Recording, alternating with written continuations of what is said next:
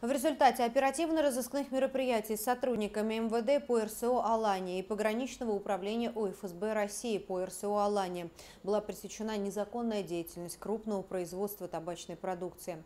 Было установлено, что изготовление контрафактной продукции осуществлялось на территории одного из складских помещений города Владикавказа.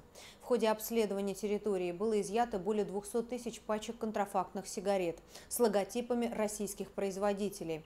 Также было изъято более 7 тонн табачного сырья, нефасованные готовые сигареты, а также фурнитура, заготовки для сигарет, упаковочные материалы и оборудование для изготовления табачных изделий.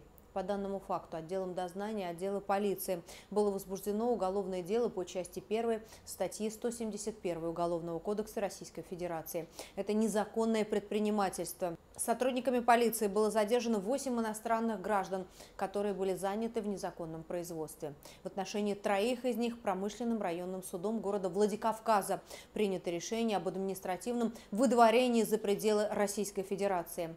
Они помещены в Центр временного содержания иностранных граждан.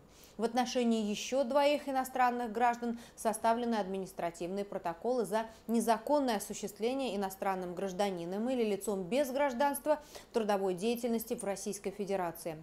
В настоящее время сотрудниками полиции проводятся мероприятия по установлению и задержанию организатора и соучастников данной противоправной деятельности.